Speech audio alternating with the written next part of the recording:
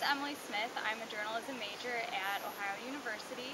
Um, I began my career at OU as a wildlife and conservation biology major, but I decided that I didn't want to do the research side of it anymore, so I switched to public relations um, so that I could work more with people and work more with getting the message across. I feel like PR for nonprofit organizations such as WWF the Sierra Club or something along those lines. Um, I want to work mainly with animal, like wildlife efforts or environmental conservation efforts.